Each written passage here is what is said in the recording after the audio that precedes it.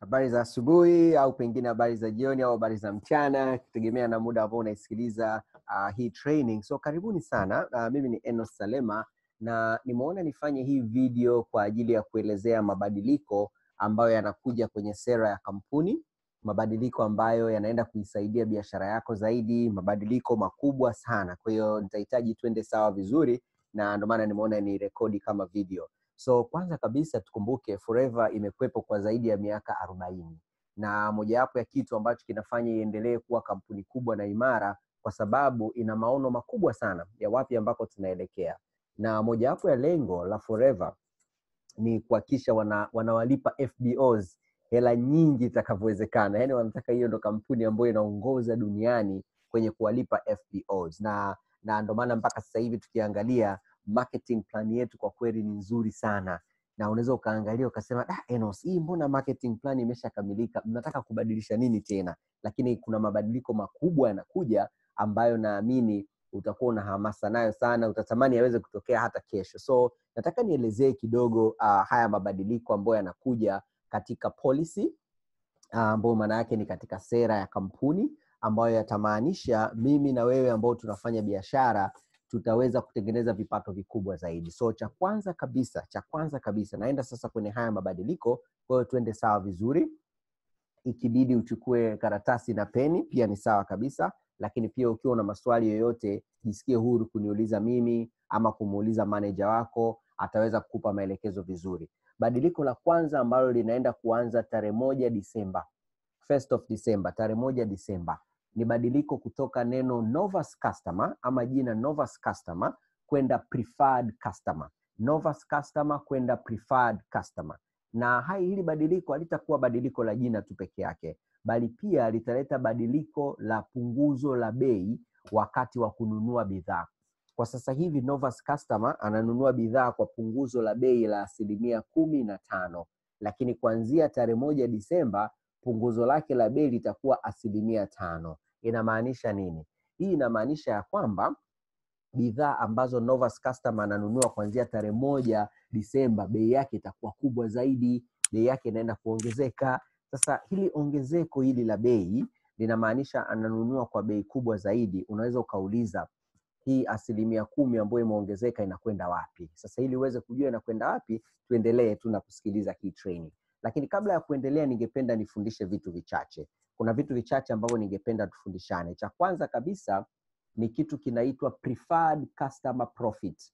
Preferred customer profit. Na nimeiweka kwa lugha hii hii ya kiingereza maana hili neno preferred customer profit nikisema nilibadilishe kwa kiswahili naona litazidi kuwa gumu lakini tutalielewa rahisi tu kama preferred customer profit. Sasa preferred customer profit ni kitu gani?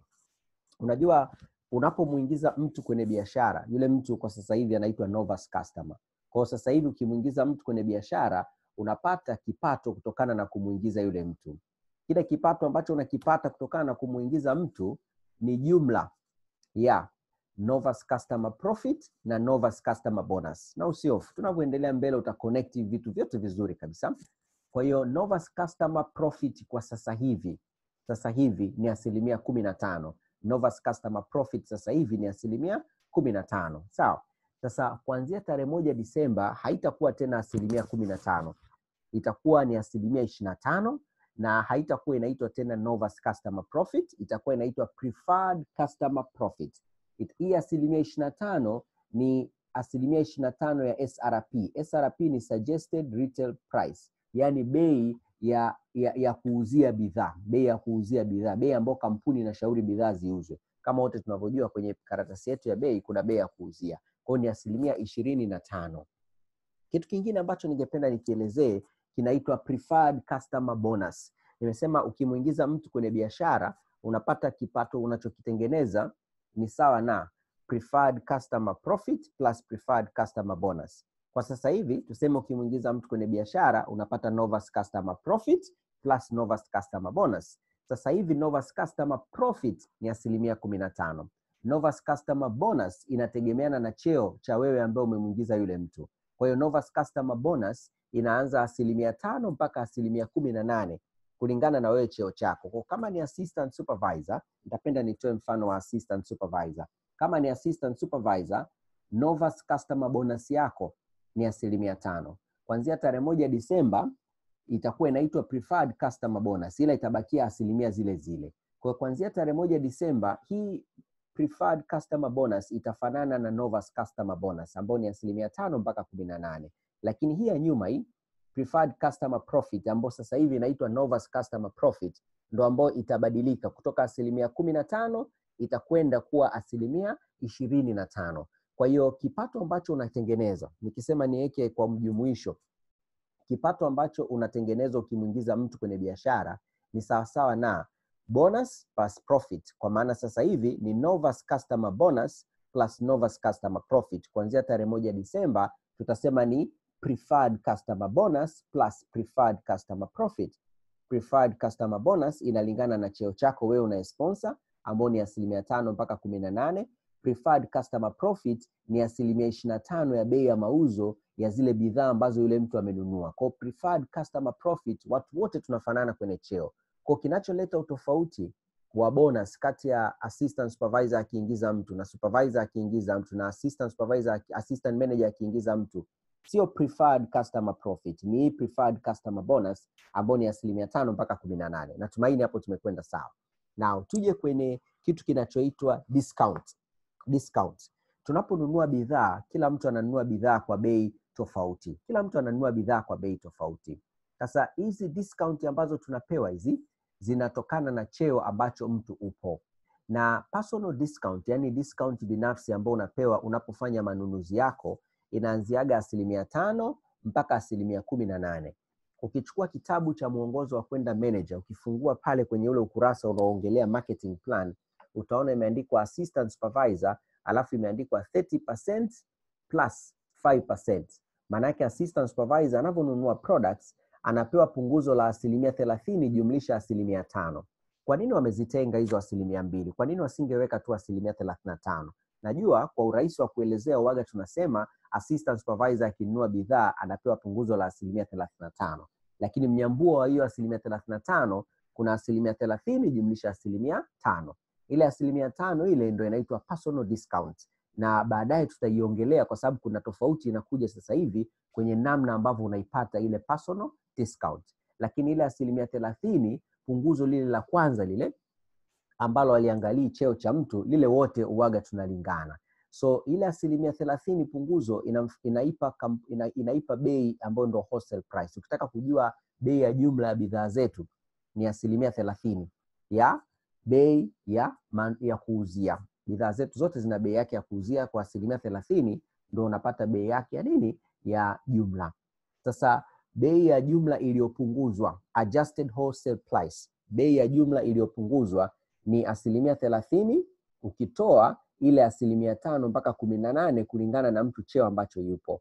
Kwa hiyo kwa uharaka haraka, bei ya jumla wengi hatuifahamu na uwaga hatuitumii, lakini hii bei ya jumla iliyopunguzwa, yani ndo bei ya kununulia, hii tuite labda ndo bei ya kununulia. Hii bei ya kununulia ndo ambao tunaifanya, ndo ambao wengi tunaifahamu. Sasa tunavyoendelea mbele tutaona kwa nini leo hii nimeileta hii asilimia thelathini, kwa nini nimezitofautisha hizi bei, kwa sababu kuna mabadiliko yanakuja kwenye namna ambavyo tutakuwa tunanunua bidhaa. Sasa nije rasmi kwenye uzinduzi wa, wa hii sera mpya ya preferred customer e, na namna gani preferred customer discount imebadilika na namna gani preferred customer profit imebadilika. Sasa kwa nini kwanza Forever wameleta hii tofauti? Unajua, wamegundua kitu cha kwanza ambacho kinafanya watu wabakie kwenye biashara ni kama wanatengeneza kipato. Kwa hiyo ili kuongeza idadi ya watu wanaobakia kwenye biashara ni kuwasaidia watu kutengeneza kipato kizuri mapema zaidi kwenye biashara, kuwasaidia watu waweze kutengeneza pesa nyingi mapema zaidi kwenye biashara. Sasa hizi pesa nyingi zitakuja katika namna ipi? Hebu tuingie sasa kwenye undani wa hili badiliko ambalo linakuja. Mwanzo niliongelea kuhusiana na ukiingiza mtu kwenye biashara kipato ambacho unalipwa ni jumla ya profit plus bonus. Inamaanisha nini? Nitatumia neno novas ama preferred. Ukimwingiza mtu kwenye biashara utapata preferred customer bonus jumlisha preferred customer profit, na hii inatokana na nini? Sasa hivi tuna mabadiliko. Sasa hivi mtu anavyonunua biashara kwa mara ya kwanza, anavyonunua bidhaa kwa mara ya kwanza akiwa kwenye cheo cha novus, anapewa punguzo la asilimia kumi na tano. Sasa sasa hivi inakwenda inaenda kuwa asilimia tano, inakwenda kuwa asilimia tano. Maanake kuna asilimia kumi hapa ambayo imepunguzwa kutoka kwenye nini, punguzo la huyu mtu. Sasa zamani zamani, no, so zamani, sasa hivi tuseme, nimesahau bado tuko sasa hivi, hatuko Disemba. Sasa hivi ukimwingiza mtu kwenye biashara unapewa Novus Customer Profit ambayo ni asilimia kumi na tano jumlisha Novus Customer Bonus ambayo itategemea na cheo. Kwa kama ni assistant supervisor basi ni asilimia tano, na ndio maana tunasema sasa hivi assistant supervisor akimwingiza mtu anapewa asilimia ishirini ya bei ya muuzo ya zile bidhaa ambazo amenunua, assistant supervisor akiingiza mtu. Sasa kuanzia tarehe moja Disemba tunabadilika. Kuanzia tarehe moja Disemba tunabadilikaje? Badala ya kupewa asilimia kumi na tano ukimwingiza mtu itabadilika, itaenda kuwa asilimia ishirini na tano kwa maana ya kwamba nitoe mfano ule ule wa assistant supervisor. Sasa hivi assistant supervisor akimwingiza mtu kwenye biashara anapata kwanza asilimia ishirini na tano ambayo ni preferred customer profit jumlisha asilimia tano nyingine ambayo ni preferred customer bonus. Kwa sasa hivi atakuwa anapata asilimia thelathini ya bei ya mauzo ya zile bidhaa. Alafu tukumbuke hizi asilimia zote hazihusishi VAT. Unavyonunua pale bidhaa unakuwa pia umelipia VAT. Kwa hiyo ukitaka kupiga mahesabu inabidi upige mahesabu bila ya kuweka nini, bila ya kuweka kodi. Sasa mimi nitakupa mfano hapa ambao utazidi kukusaidia kuelewa zaidi na maanisha nini. Nianze kuongelea jinsi sasa hivi system ilivyo jinsi sasa hivi system ilivyo. Sasa hivi jinsi system ilivyo, wewe kama upo hapa umesponsor mtu, umemwingiza mtu kwenye biashara, maana yake umepata Novas customer. Huyu Novas customer anavyokuja Forever anauziwa bidhaa kwa punguzo la asilimia kumi na tano. Hivi ndo sasa hivi jinsi ilivyo, na wewe ambaye ni sponsor, wewe ambaye ni sponsor unapata Novas customer profit ya asilimia kumi na tano sasa hivi, sasa hivi. Sasa hii ni nyambue zaidi kwa undani ili upate kuielewa. Tuchukulie mfano 2cc asilimia mbili, eti asilimia mbili 2cc 2 case screens okay? Mtu amenunua 2cc. Mtu akinunua 2cc inamaanisha nini? Wewe ambaye upo hapa ni sponsor, utapata kwanza kabisa preferred customer profit ambao ni asilimia kumi na tano. Hapa hapa tuseme kwa uhalisia sio preferred, niandike niandike Novas, assume naweka Novas. Utapata Novas customer profit ambao ni asilimia kumi na tano. Asilimia kumi na tano ya nini? Ya bei ya mauzo ya hizi cc mbili. Bei ya mauzo ya cc mbili ni sawasawa na dola mia nne na themanini. Hii ni standard, inaweza ikabadilika kidogo kulingana na aina ya bidhaa ambazo wamenunua, lakini haichezi mbali na hapo. Kwa hiyo kwenye mfano wote tutatumia dola mia nne na themanini na ndo mfano rasmi ambao tunautumia kwenye mahesabu yote ya Forever, kwa maana ya kwamba sasa hivi ukimwingiza Novus customer akafanya cc mbili, wewe ambaye umemwingiza yule mtu, kwanza una Novus customer profit ambao ni asilimia kumi na tano. Asilimia kumi na tano ya thamani ya cc mbili ambao ni dola mia nne na themanini ni, dola sabini na mbili, lakini pia vilevile una Novus customer bonus ambayo ni asilimia tano ambao hiyo itakuwa sawasawa na asilimia na dola ngapi? Dola ishirini na nne. Hiyo itakuwa sawasawa na dola ishirini na nne. Ukijumlisha hapo unapata dola tisini na sita. Hii dola tisini na sita hii kama ukisema uibadilishe kwenye pesa labda ya Kitanzania ukizidisha kwa elfu mbili mia nne utapata laki mbili na thelathini na laki mbili na thelathini ni wastani wa bonus ambayo assistant supervisor anapata akimwingiza mtu wa cc mbili. Kama ni Burundi tisini na sita hii ukiizidisha kwa elfu tatu utapata laki mbili themanini na nane ni wastani ambao assistant supervisor anapata akimwingiza mtu wa 2cc. Hivi ndo jinsi ilivyo sasa hivi. Sasa tuje kwenye namna mpya. Namna mpya itakuwaje? Ikija namna mpya, mambo yatabadilika. Mambo yatakuwaje? Wewe sasa hivi kama sponsor ukimwingiza mtu, huyo mtu ataitwa preferred customer. Preferred customer. Preferred customer anavyonunua products kutoka Forever anapewa punguzo la asilimia tano. Preferred customer anapewa punguzo la asilimia ngapi? Tano. Wewe ambaye umemwingiza yule mtu kwenye biashara yule utapewa preferred customer profit ya asilimia ishirini na tano. Umeona hapa ni kumi na tano, hapo imeenda kuwa ishirini na tano. Hapa ni kumi na tano, imeenda kuwa tano. Maanake ile kumi ya hapa iliyopungua inakuja kulipwa kwa huyu sponsor ambaye amemwingiza kwenye biashara. Sasa nitoe mfano wa kimahesabu kwa kupitia 2cc. Tuchukulie mfano wewe ni assistant supervisor, alafu umemwingiza mtu akafanya 2cc. Akifanya 2cc preferred customer profit itakuwa ni asilimia ishirini na tano ambayo ni dola mia moja na ishirini.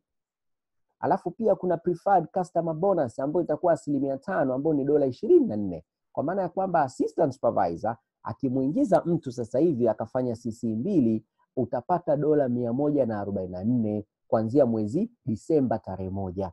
Lakini sasa hivi tunavyoongea unapata dola tisini na sita. Maanake kuna ongezeko hapo la dola arobaini na nane kutoka tisini na sita mpaka mia moja na arobaini na nne. Sijui kama tumeenda sawa. Kwa hiyo ukiangalia hapo Paul, ukiangalia hapo hii hii Novus customer bonus ni sawasawa na preferred customer bonus ambayo ni asilimia tano. Lakini hii Novus customer profit ndo ambayo imeongezeka kwenye preferred customer profit ikaenda asilimia ishiri na tano. Sasa kiurahisi ki tunasemaga ukimwingiza mtu kwenye biashara unapata bonus. Ile bonus sasa ile ndo ile kipato chako ambacho forever inakulipa. Lakini ile bonus huaga ni mchanganyiko wa vitu vingi. Ni kama vile ukija kuwa manager unapata bonus inaingia. Lakini ile bonus yako mule ndani inawezekana kuna end incentive bonus inawezekana kuna gem bonus inawezekana kuna leadership bonus. Yani hilo bonus zinakuja katika vipengele vingi. Kwa sasa hivi tunaweza tukasema bonus ya kumuingiza mtu ni sawasawa na preferred customer profit jumlisha preferred customer bonus ambao hapo ukijumlisha hizi asilimia mbili utapata ni asilimia ngapi? thelathini. Hapo ukijumlisha hizi mbili utapata ni asilimia ngapi? ishirini kwa maana ya kwamba sasa hivi assistant supervisor akimwingiza mtu kwenye biashara anapata asilimia ishirini.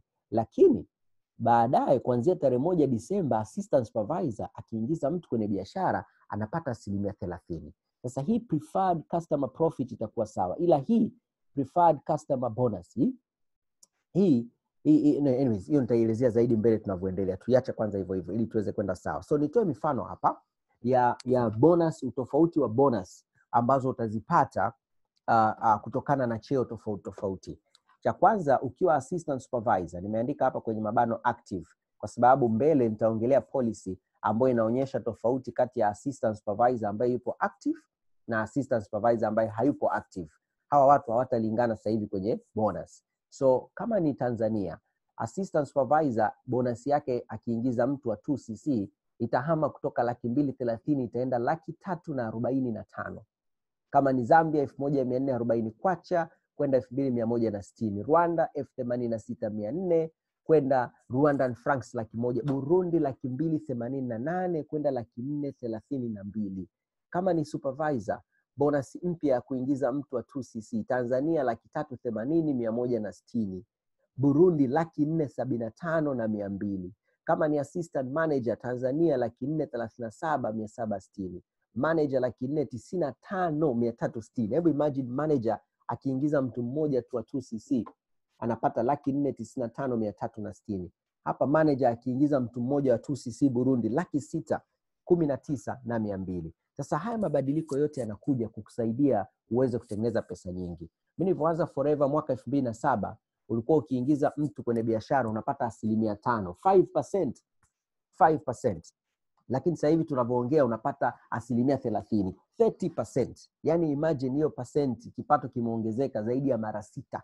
Mara sita yake actually ya ambacho tulikuwa tunakipata zamani. Kwa maana ya kwamba forever kama kampuni hawajalala wanaendelea kubadilika. Kwa hii ni policy muhimu sana ambayo itamaanisha watu watatengeneza pesa nyingi zaidi mapema.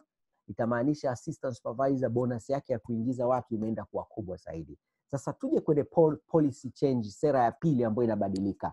Hii inaitwa boost policy. Boost policy kwa ajili ya assistant supervisors. Hii ni muhimu kwa ajili ya assistant supervisor. Ukiangalia forever wamewaangalia assistant supervisor vizuri sana. Wamewaangalia assistant supervisor katika jicho tofauti kwa sababu moja tu muhimu. Wameangalia assistant supervisor kwa sababu ni wengi na wanajua kabisa assistant supervisor wanahitaji kutengeneza kipato kikubwa. Na ili watengeneze kipato kikubwa mojawapo ya kitu muhimu ni wajifunze kufanya nini? 4cc kuwa active.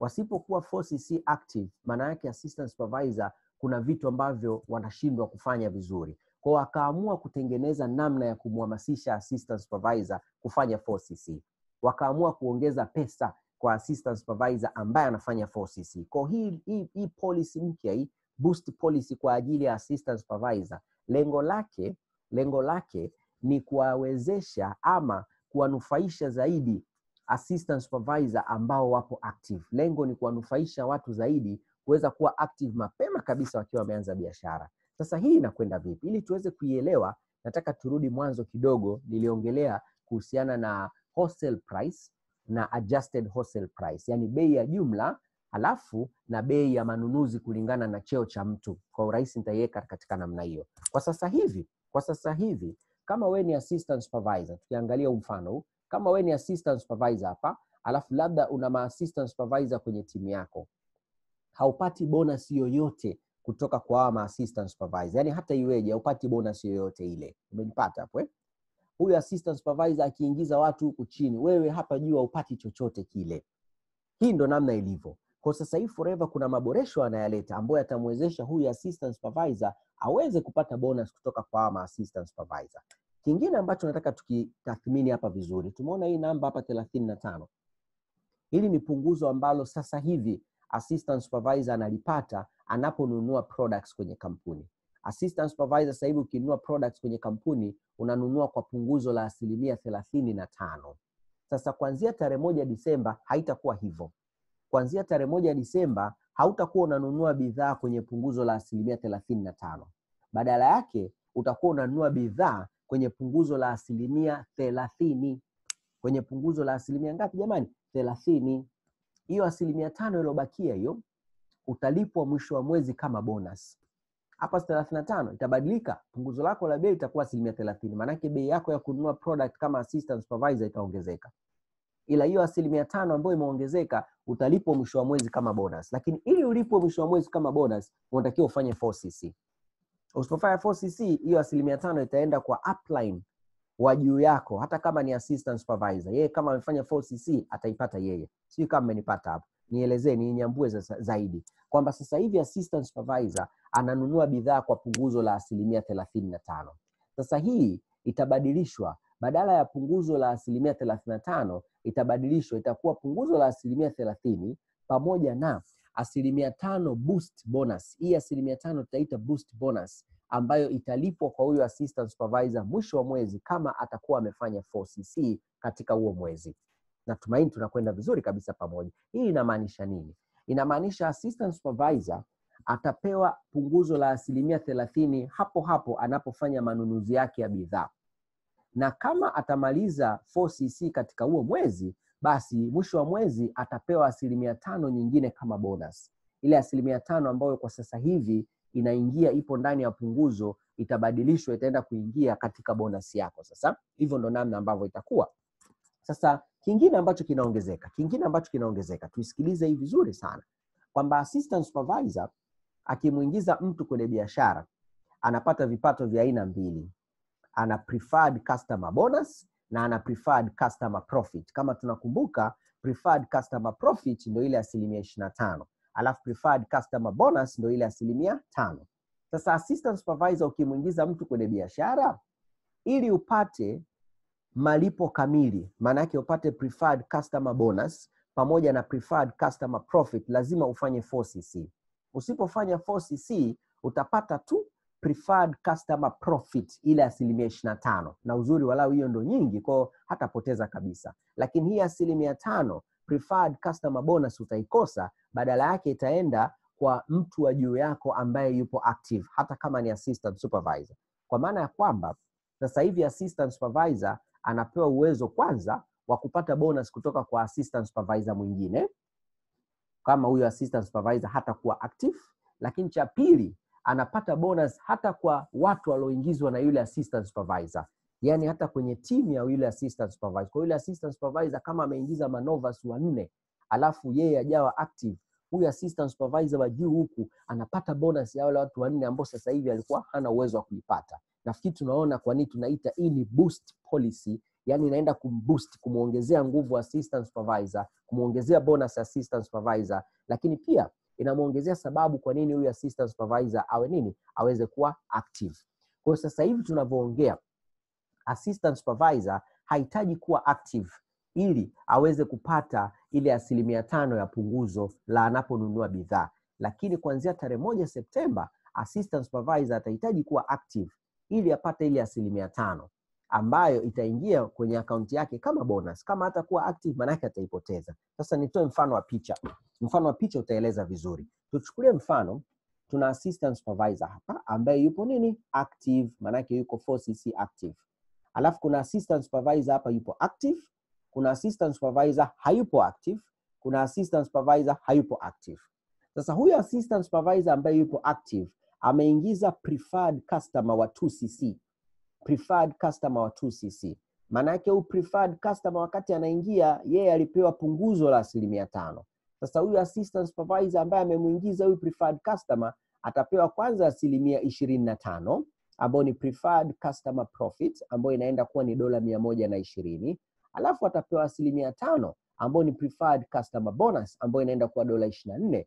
Mia ishirini jumsha ishiri na nne utapata mia moja arobaini na nne. Sijui kwa nini nimeandika mia moja arobaini na tano itakuwa napenda hela nyingi kwa maana ya kwamba assistant supervisor atapata hii dola mia moja arobaini na nne kwa sababu yeye yupo active.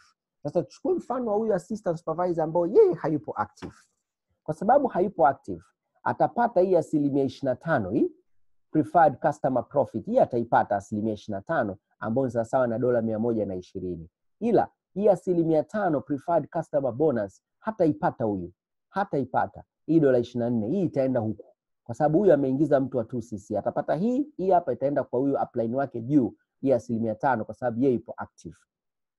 Huyu naye pia mfano wake ni kama huu.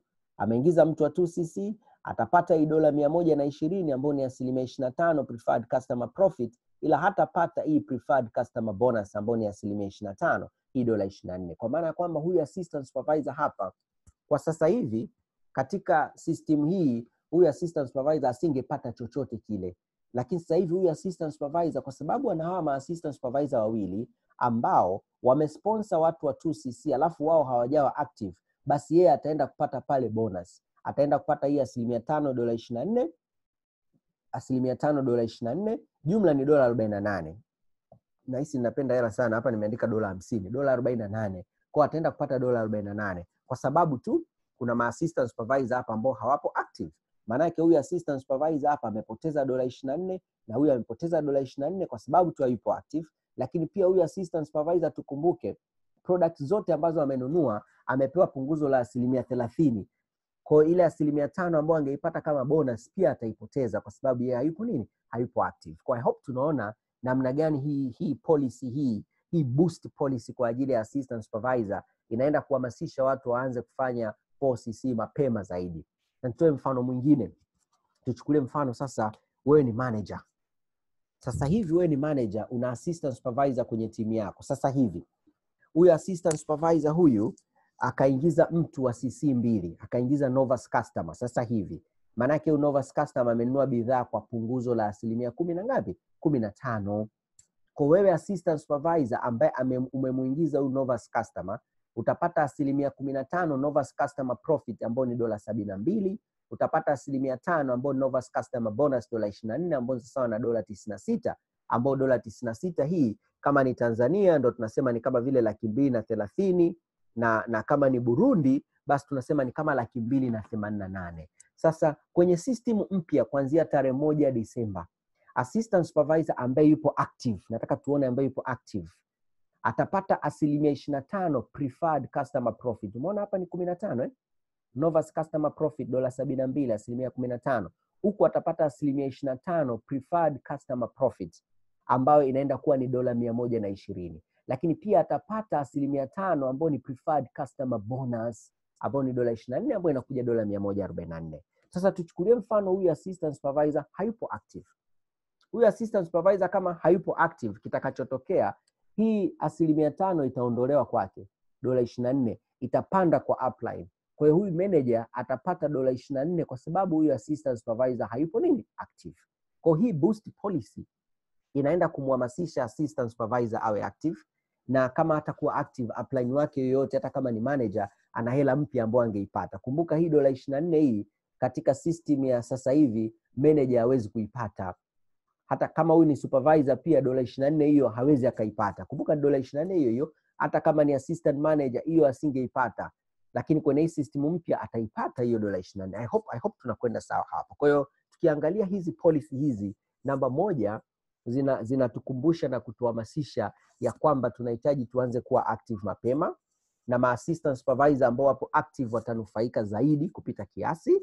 Lakini pia hizi policies zinamaanisha ya kwamba kuanzia tarehe moja disemba tutakuwa tuna mabadiliko ya bei za kununulia products kwa ma assistant supervisor, lakini pia tutakuwa tuna badiliko la bei la kununulia products kwa kwa kwa novice customer ambao wakati huo wataanza kuitwa preferred customer. Bei zao za kununua products zitabadilika. Kwa mimi nataka nikupe chachu kama upo hapa wewe ni assistant supervisor una manovas customer kwenye simu I mean kwenye timu yako huu ndo muda wa kuwahamasisha waweze kufika assistant supervisor mapema ili wasije wakaumia na na hizi bei mpya zitakapokuja kuanza. Na ndio maana mimi nimekuwa na natuma kama vile reminder kuwakumbushia watu ya kwamba tunahitaji tuwasaidie novas customer kwenye team waweze kupanda cheo wawe assistant supervisor na nitaendelea kutuma. Kila wiki nitakuwa natuma mara mbili mpaka disemba inafika ili tuwasaidie novas customer wasije wakaumia kutoka kwenye kununua bidhaa kwa punguzo la asilimia kumi na tano waende kununua bidhaa kwenye punguzo la asilimia tano. Lakini hapo hapo mimi na wewe tujipange zaidi vizuri kwenye kujifunza namna ya kurecruit kwa sababu definitely tukienda kurecruit kuanzia disemba bonus zinaongezeka lakini pia vile vile tuwasaidie watu wengi zaidi waweze kujifunza namna ya kuweza kumaster 4cc nimalizie na policy ya mwisho ambayo pia ina, inaanza kufanyiwa kazi. Hii inaanza kufanyiwa kazi mwezi novemba mwezi ujao.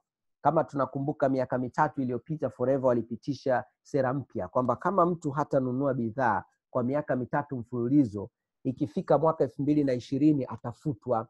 Atafutwa ikifika mwaka elfu mbili na ishirini. Lakini wakaamua kuibadilisha kuiboresha hii sera. Badala ya kumfuta huyu mtu tunasema watamuhifadhi. Watamuhifadhi kwa maana watamuweka pembeni kwenye system ya forever ila hatafutwa. Sasa anavyohifadhiwa anavyowekwa pembeni kitakachotokea wale watu wote ambao walikuwa wamewaingiza kwenye biashara yake watatolewa kwake watahamia juu kwa ambaye ame kwa sponsor wake upline yake yoyote yule ambaye amefanya order. Na hii inaanza tarehe moja novemba kwa maana kwamba ikifika tarehe moja novemba uh, tuanze kuangalia system zetu vizuri.